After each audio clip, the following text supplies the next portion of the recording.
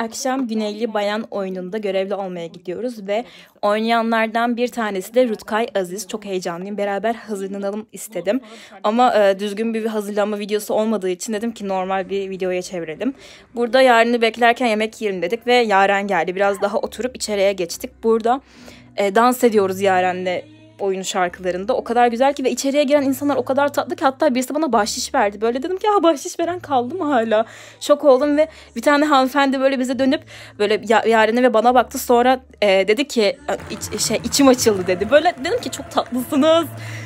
Selam selama çıktılar. Burada da sanatsal bir kedi görüyoruz.